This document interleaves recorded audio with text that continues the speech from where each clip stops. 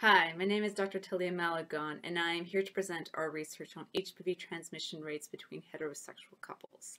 Uh, this study was done in collaboration with my colleagues at McGill University and uh, also at the University of Toronto.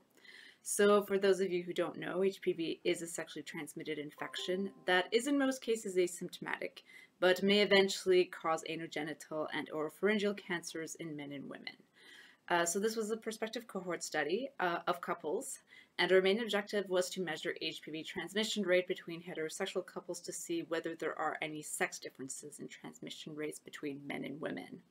And this study was special because we have information on HPV infection in both partners over time. So we can actually detect when HPV transmission occurs.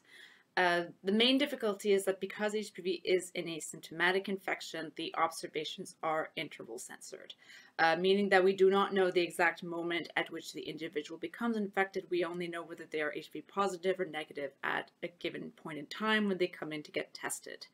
Um, and so we only know that they were infected between two study visits. So in order to measure incidence rates, we used a Bayesian multi-state model, which calculated the transmission rates accounting for this interval that exists between two visits, um, and is able to account for the uncertainty in the timing of the infection. Using this method, we also analyzed what variables were associated with higher transmission rates. And what we found was that HPV transmission rates were higher from women to men than from men to women in our study. And this was an interesting finding that was consistent with the findings of other smaller studies that had been done previously, um, but that was confirmed in our larger study. And we hypothesized that this difference, uh, the sex difference in transmission rates may be due to sex differences in the immune response to HPV infection. We also found in our study that consistent condom use had a protective effect on the risk of HPV transmission between partners.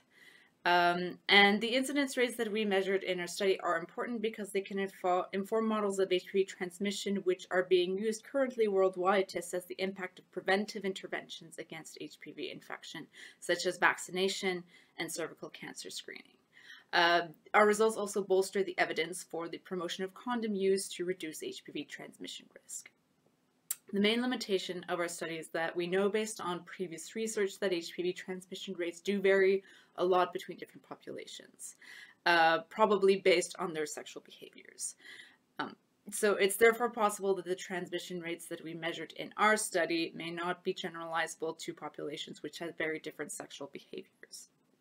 Hopefully I have piqued your interest in our study, which you can read in full in this May 2021 issue of Epidemiology under the title Sex and Type-Specific Genital Human Papillomavirus Transmission Rates Between Heterosexual Partners, a Bayesian Reanalysis of the HITCH Cohort.